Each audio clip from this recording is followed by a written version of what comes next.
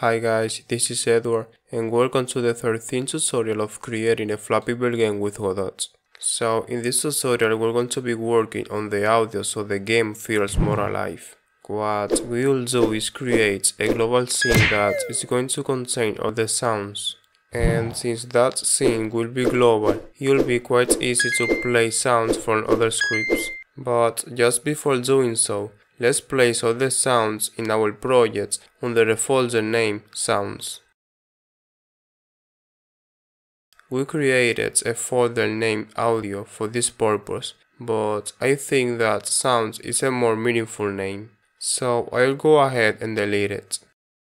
The folder I just copied already has all the sounds we'll use, so we are ready to go. And of course there will be a link in the description with the sounds files. So back to the editor, I'm going to create a new scene and I'll add a sample player node, which is meant for playing simple samples or as I understand it, for playing short sounds. I'm going to name it audio player. I'll hit Ctrl S to save this scene in the scenes folder under the name audio audioplayer.cscn. You can see that we have a warning here telling us to create a sample library in order to play sounds. So let's go ahead and do that. I'll click on the samples property and then on new sample library and then click on edit. And that will open up the sample library editor. In order to add sounds we just have to click on this icon here and under the sounds folder I'm going to select all the 5 sounds and click open. And from here we can play sounds. Delete them and even make some modifications. We are just going to use them like that. Now there is a property in the sample player node named polyphony, which is the maximum amount of simultaneous voices. Or as I understand it, the maximum amount of sounds this node can play at once. Since in this game there won't be a lot of sounds playing at once, I'm just gonna set it to 10, which will be more than enough.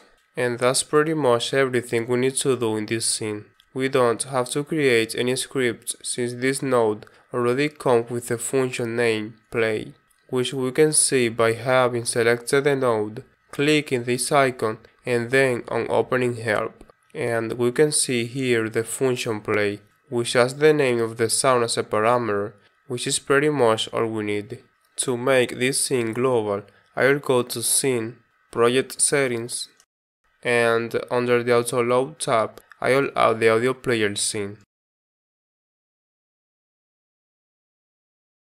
Let's close this panel. And we are pretty much done with the scene, so I will go ahead and close it. Let's first implement the flap sound. I'll open the bird scene, go to its script, and in the flapping state, we have the function flap.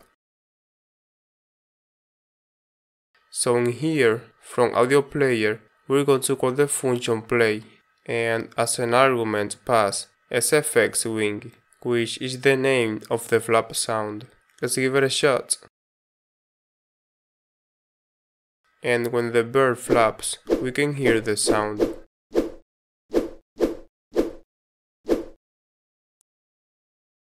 Let's do now the hit sound, which will sound when the bird hits a pipe or the ground. So in the function init of the hit state, we will play the sound name sfx hit. And the same in the ground state.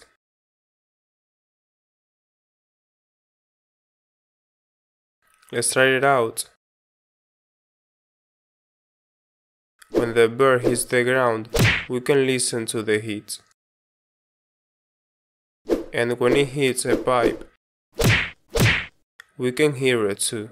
But the problem is that it sounds again when hitting the ground. And in the original game, it never sounds twice. We'll still want it to sound when hitting the ground, but not if it hits a pipe before. So to address this issue, we'll have to keep track of the previous state the bird was in. So at the top, I will create a new member variable named previous state. And in the set state function, just before changing to the new state, we're going to set previous state equal to get state. So we set it equals to one of these constants we use as identifiers. And now back to the ground state. We will play the hit sound only if the bird that previous state is different than bird that state hit. Let's give it a shot. I hit the ground and it sounds.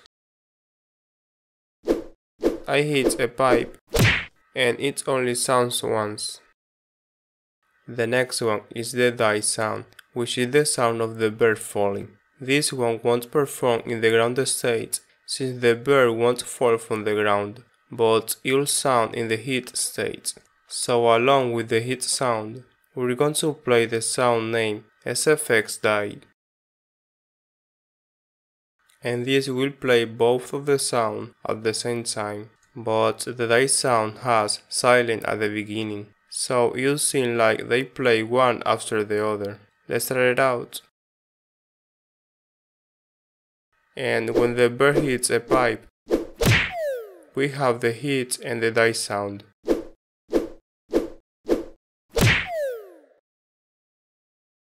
Let's now go for the sound for when the bird goes through a pipe. So I'll open up the coin scene and in this script when we have a collision with the bird we increase the current score and now we'll also play the sound SFX point.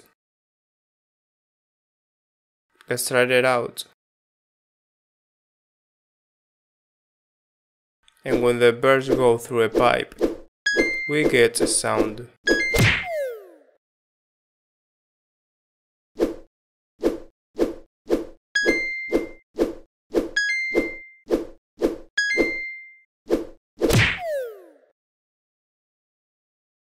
And last but not least, it's a simple sound from where we go from one stage of the game to another, which is kind of like a transition sound for the user interface. So let's go to the Stage Manager script, and right after playing the animation fade in, we will play the sound SFX swooshing. Let's give it a shot. And when we change the current stage, the sound plays. Well guys, that's gonna be it for this video. I hope you have found this way of playing sounds useful. Don't forget to like and share this video.